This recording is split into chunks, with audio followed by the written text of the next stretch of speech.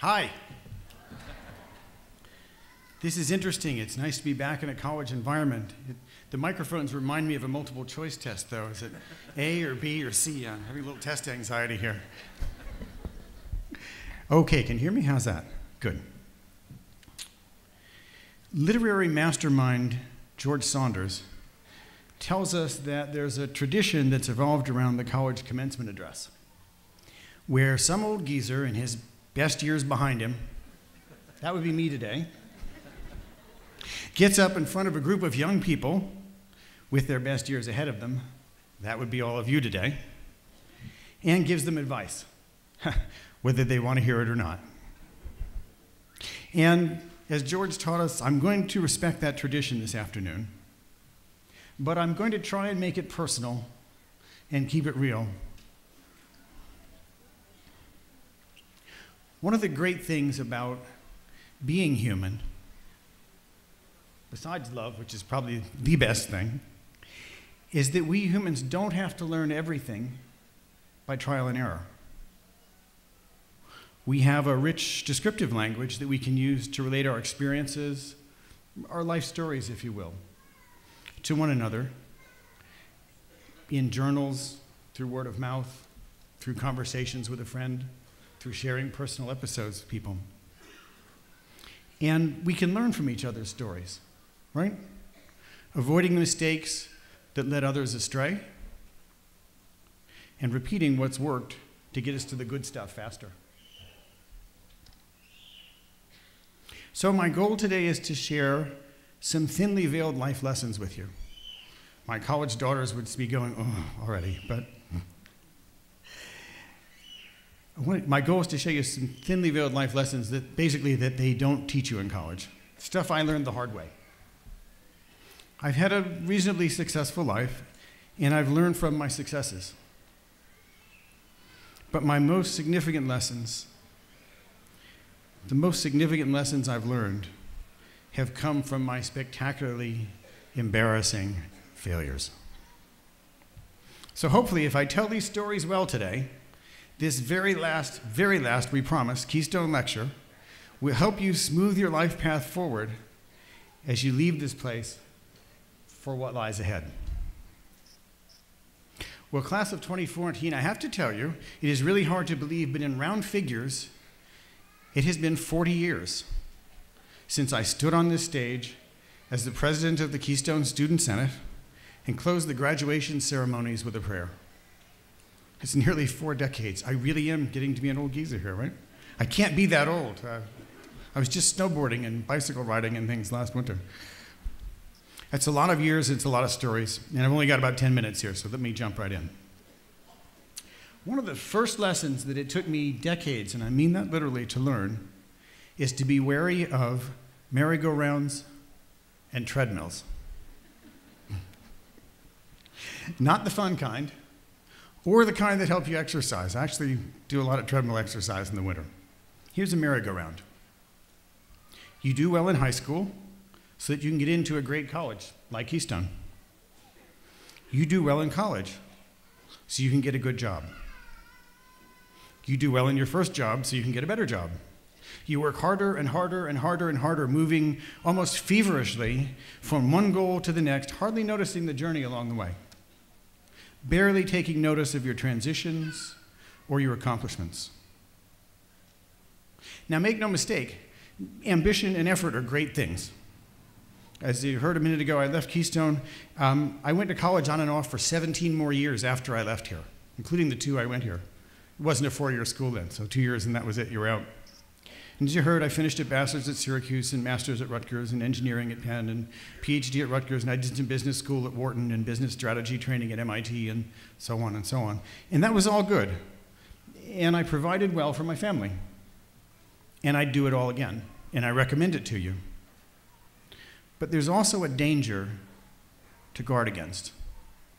And that's not stopping to smell the proverbial roses. Not pausing to celebrate your accomplishments. Congratulations, by the way. Today is a really big day for all of you and a really significant accomplishment. Well done.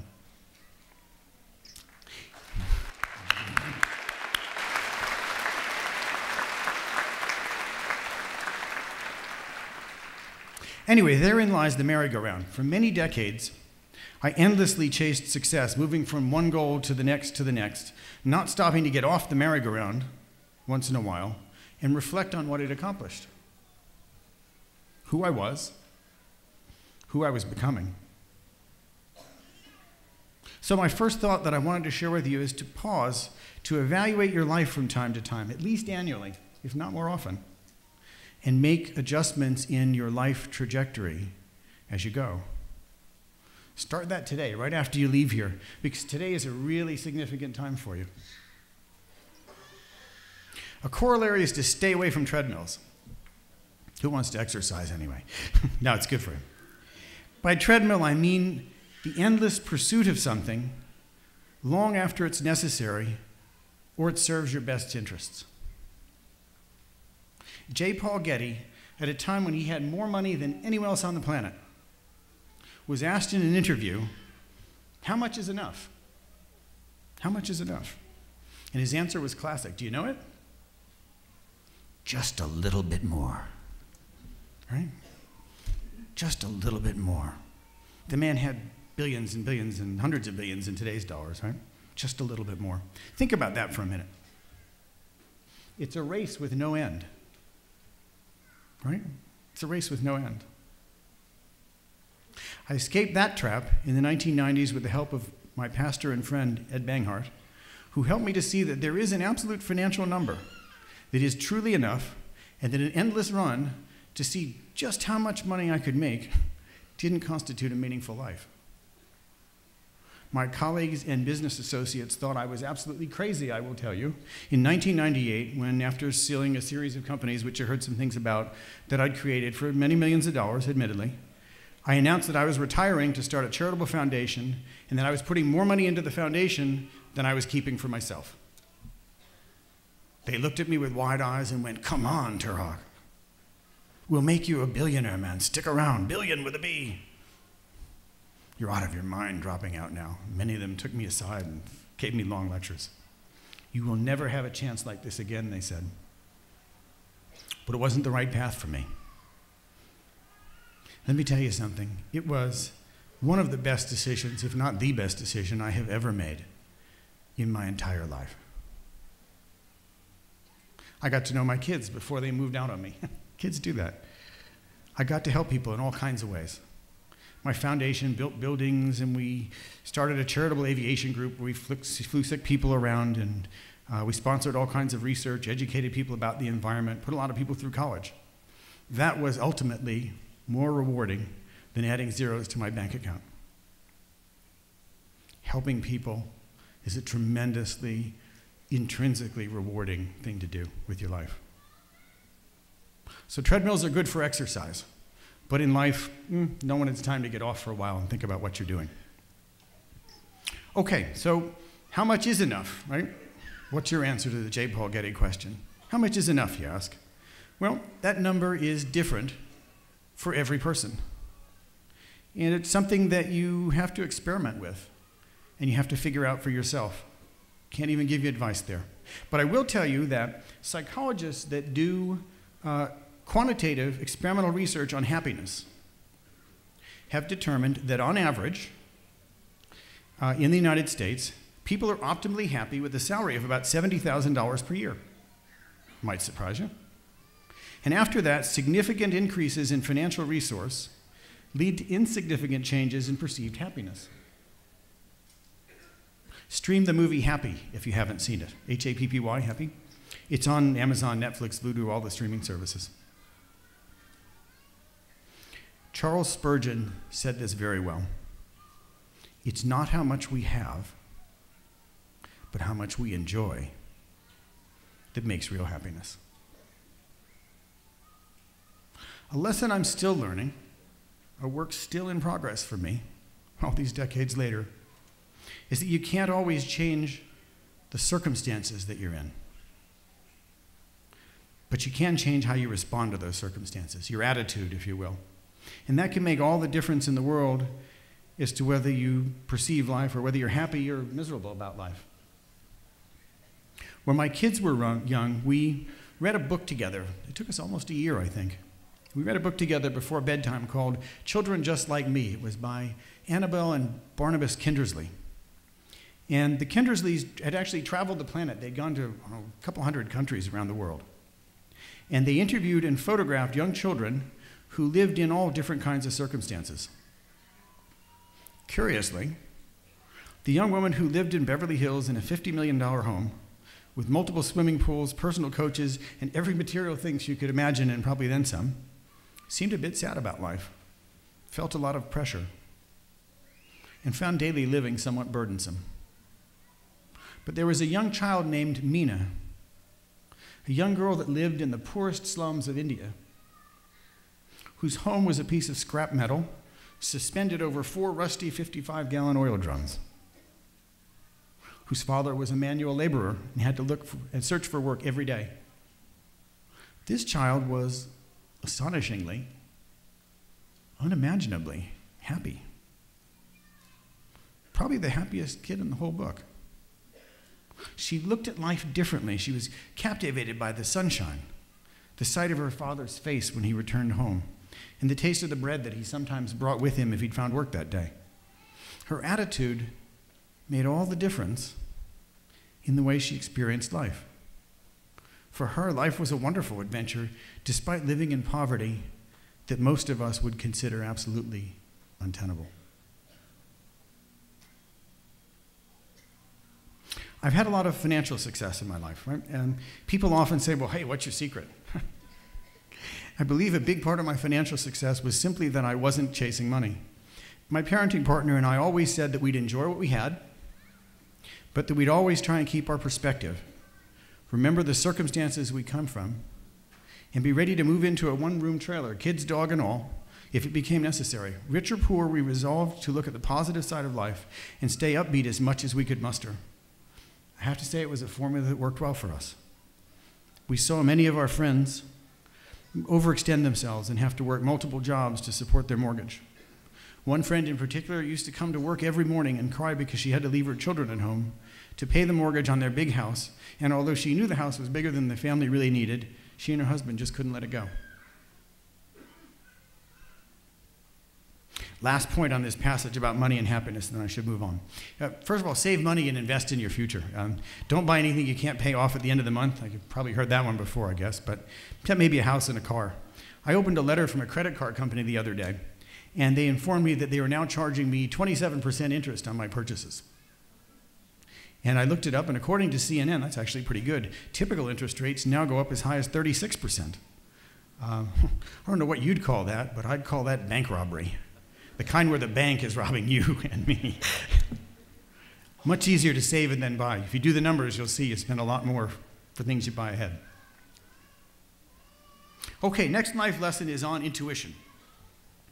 Intuition is a wonderful thing. And in my experience, uh, when we ignore our intuition, it is usually to our detriment. In his book, The Gift of Fear, Gavin de Becker tells us that most women who are attacked have an instinctual premonition of danger before the attack ever happens.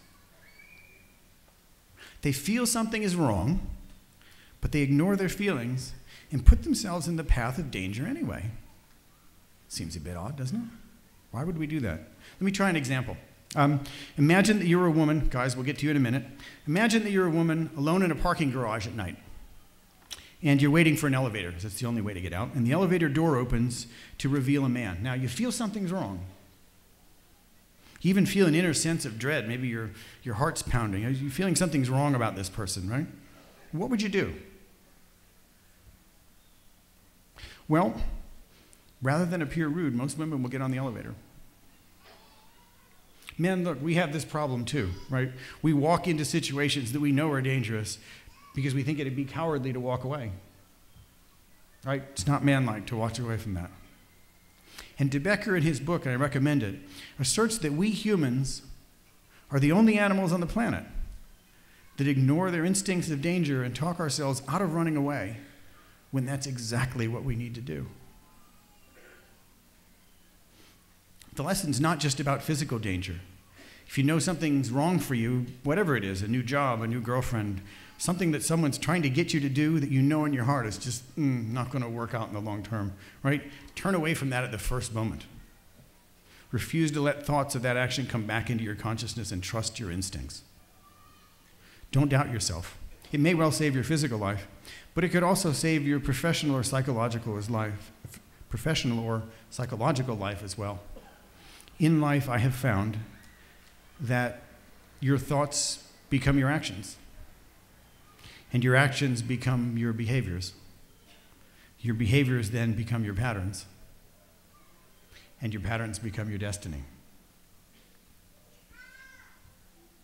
That means that you have to be very mindful of who you're in bed with, literally and figuratively. Um, but the point's not about who you hook up with. It's not a talk on lecture on AIDS or STDs.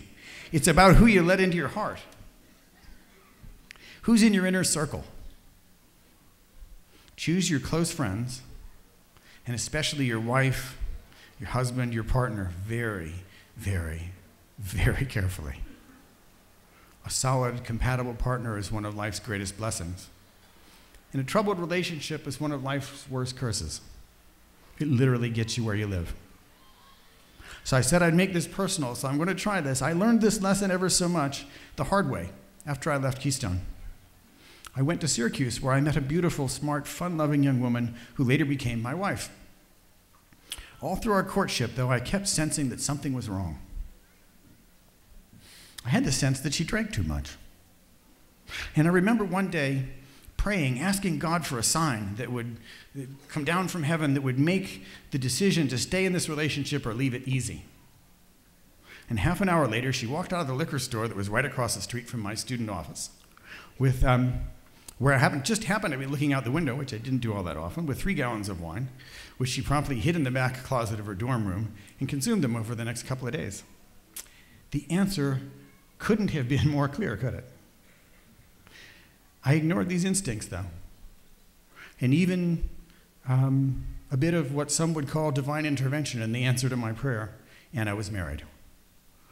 And a few years later, after my precious wife and I had inextricably interwoven our hearts into one, she died from alcohol poisoning and liver failure. I still carry the scars of bailing her out of jail and the embarrassment of family and friends, and the sadness of having lost my soulmate. So I say to you from personal experience trust your instincts. Turn away from trouble at the first moment. It can save you a lifetime of difficulty later. So let's get happy again. Let's talk about work. Um, first, in thinking about a career, something you're probably all thinking about these days, right? Consider a Venn diagram the intersection of what you love, what you can do well, and the, what the world will pay you really well for. Right? Three circles, and think about the intersection of those three things. In careers, I call that the winner's circle. And in your career, um, even in a winner's circle career, know that there is really no magic bullet and no easy road. Hard work does pay off, believe it or not. If you haven't read it, I recommend reading the book or watching the YouTube, uh, The Last Lecture of Randy Pausch. Has anybody read that? Just quick show of hands. Yeah, okay, some people. It's, um, it's on the net. He was a, a professor at uh, Carnegie Mellon, I think. Um, it's a cornucopia of wisdom about work and career life. One key point is that in your professional life, don't be afraid to fail. Don't be afraid to fail. I'm sure you know the old adage, right? Nothing ventured, nothing gained. Don't need to go over that here, but, but it's true, especially for your professional life. Be extra bold.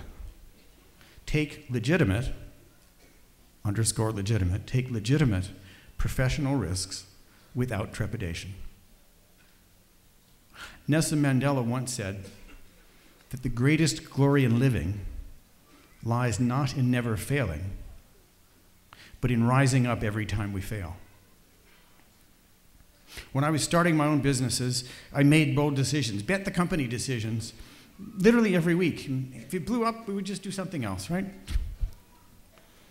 Um, with a lot of hard work, my team and I turned, I don't know, $50,000 investment into about 120 million in a couple of years. It worked well for us, but we worked hard.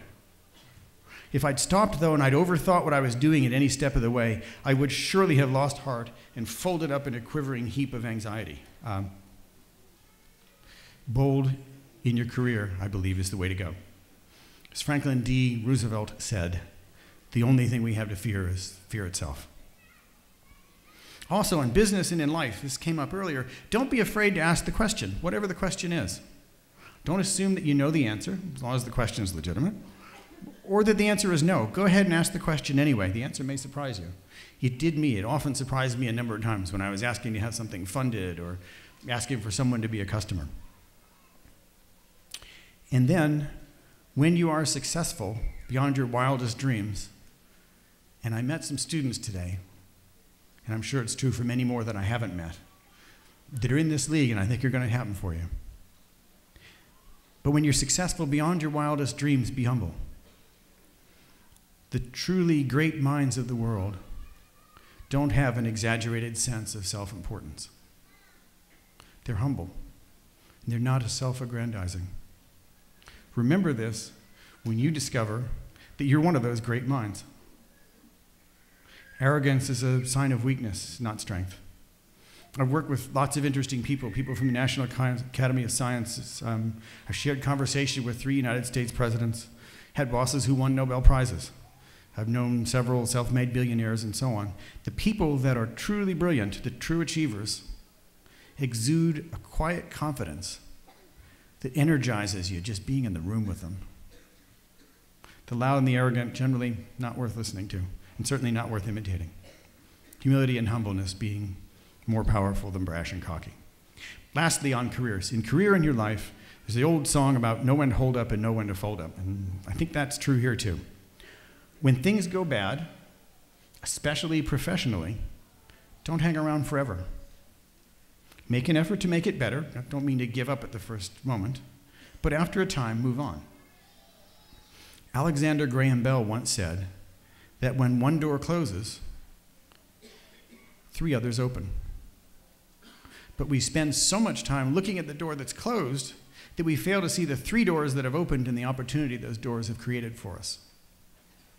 I will tell you, I've probably started 12, 15 businesses yeah, three or four of them were what I'd call a success.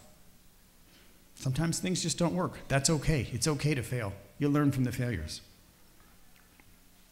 Okay, we're almost done. Um, next subject family.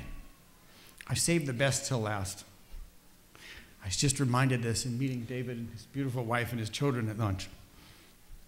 For many people, including me, there's no greater joy than having a couple of kids and a dog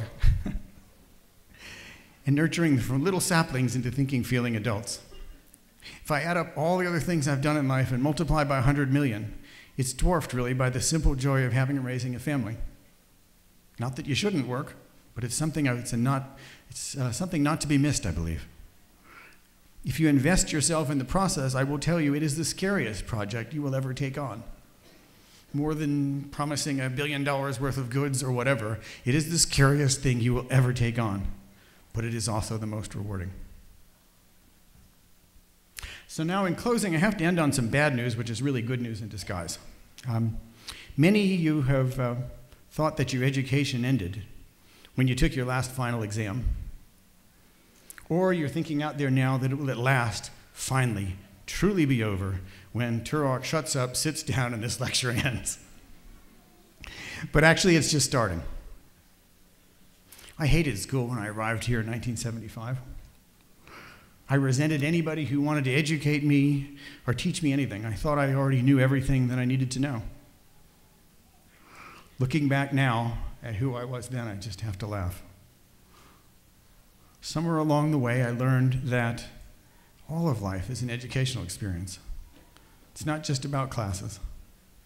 Every day, I get a little wiser, even in my old age. Every day I become more aware of just how much I still have to learn. Learning doesn't stop when you graduate. Every day brings about changes in me and changes in the world around me. And in your generation, much more than in mine. That change is going to happen faster and faster and faster. And chances are you're going to have to adapt to changing careers and changing circumstances many, many times my father, who went to Keystone as well, and my mother. And my mom had multiple careers, but my dad had one career for 35 years. not really possible anymore. So there's a lot of change in store for you.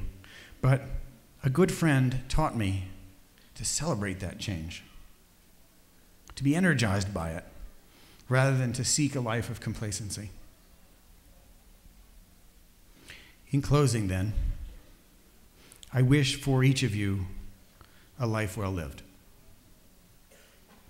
Today, you are born of this place. It's the little arch there as you go out, right? I know that what Keystone did for me, it has also done for you, if you've let it. That means you are prepared for success. I close then paraphrasing the words of Henry David Thoreau and my father, Frank Michael Turock, who said, Life proceeds out of your intentions for it. Go confidently in the direction of your dreams Live the life that you've imagined. Make it happen. Class of 2014, good luck, God bless, and live well.